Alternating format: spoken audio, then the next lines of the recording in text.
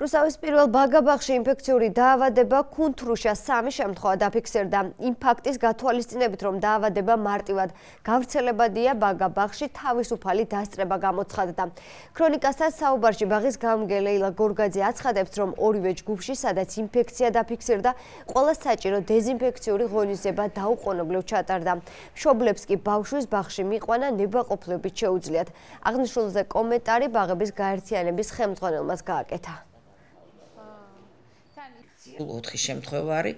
როდესაც პირველად შევნიშნეთ და გავიგეთ, რომ ჩვენს ბაღში კუნთრუშა ბატონები იყო, იმ წუთში დაუკავშირდეთ ჯან დაცვას, ისინი ძალიან სწრაფად გამოეხმაურნენ ჩვენს სატელეფონო ზარს, მოხდა კონსულტაცია, ჩაგვიტარეს კონსულტაცია, ჩვენს ფაქტიურად ყველა ჯგუფში მოხდა სადეზინფექციო სამუშაოების ჩატარება, როგორც ავეჯის, ასევე ჭურჭლის, ასევე საწოლების, სახელურების.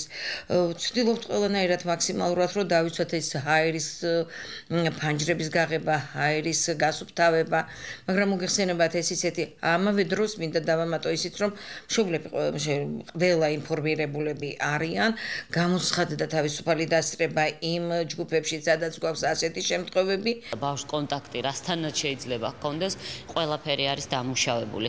სხვა ბაღებს რაც შეეხება, ამ წუთისთვის არსად ინფორმაცია არ გვაქვს, არსაიდან ინფორმაცია უბრალოდ არ გვაქვს. გვაქვს რომ იქაც ასეთი შემთხვევა არის და ფიქსირდება, თუმცა რაღაც 2-3 კვირის წინ ქონდა ჩუტყვავილა შემთხვევები, მაშინ როგორც კი აღმოჩნდა პირველივე შემთხვევა, იქაც იდენტური სამუშაოები ჩატარდა, მოხდა დეზინფიცირება.